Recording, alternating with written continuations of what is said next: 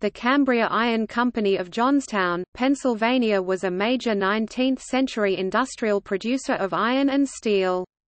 Founded in 1852, it had the nation's largest steel foundry in the 1870s, and was renamed the Cambria Steel Company in 1898. The company used many innovations in the steelmaking process, including those of William Kelly and Henry Bessemer. The company was acquired in 1923 by the Bethlehem Steel Company. The company's historic facilities, extending some 12 miles 19 kilometers along the Conemaugh and Little Conemaugh rivers, are a National Historic Landmark District. A number of works by the firm are listed on the National Register of Historic Places.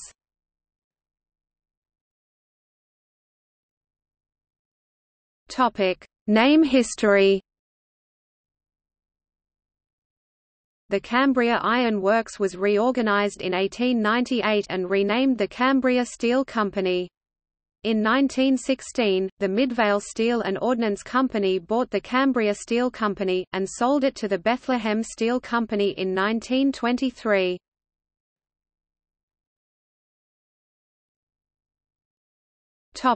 Facilities The industrial facilities of the Cambria occupied five separate sites in and around Johnstown, Pennsylvania. Its earliest facilities, known as the Lower Works, are located on the east bank of the Conemaugh River, north of downtown Johnstown and the Little Conemaugh River. The Gautier plant is just northeast of downtown Johnstown on the south side of the Little Conemaugh. Further up that river are the extensive Franklin plant and wheel plant, while the rod and wire plant is located on the west side of the Conemaugh River a ways north of the lower works. Each of these facilities represents a different phase of development and growth of the steel industry, although the lower works no longer has significant traces of the earliest facilities used in steel manufacturing. All five of these areas make up the National Historic Landmark District designated in 1989.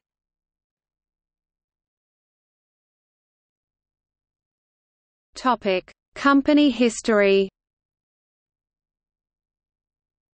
The Cambria Iron Company was founded in 1852, in order to provide steel for the construction of railroads.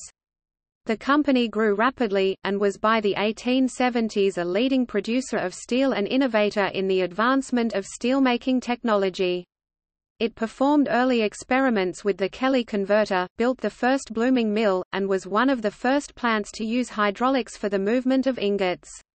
It built one of the first plants to use the Bessemer process for making steel on a large scale.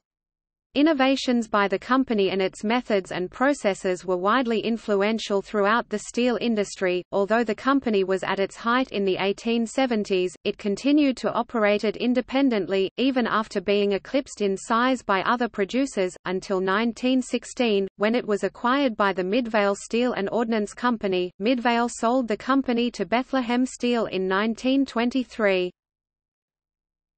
Topic works produced Infrastructure whose parts were manufactured by the Cambria Company include with variations in attribution, Bell Bridge, County Road over Niobrara River, 11.9 miles 19.2 kilometers northeast of Valentine, Nebraska Cambria Steel Co., NRHP listed Boone River Bridge, Buchanan Avenue over Boone River, Goldfield, Iowa Cambria Steel Company, NRHP listed Borman Bridge, County Road over Niobrara River, 2.3 miles (3.7 kilometers) southeast of Valentine, Nebraska. Cambria Steel Co. NRHP listed El Dorado Bridge, State Street over Turkey River, El Dorado, Iowa. Cambria Steel Co. NRHP listed Johnstown Inclined Railway, Johns Street and Edgehill Drive, Johnstown, Pennsylvania. Cambria Iron Co. NRHP listed Neligh Mill Bridge, Elm Street over Elkhorn River, Neligh, Nebraska. Cambria, Lackawanna Steel Cos, NRHP listed North Loup Bridge, county road over North Loup River, 1.5 miles (2.4 kilometers) northeast of North Loup, Nebraska. Cambria and Lackawanna Steel Cos,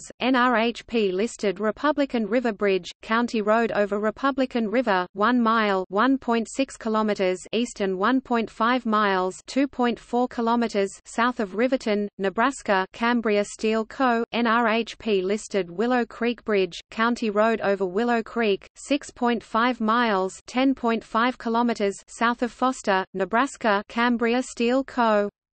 NRHP listed. Topic. See also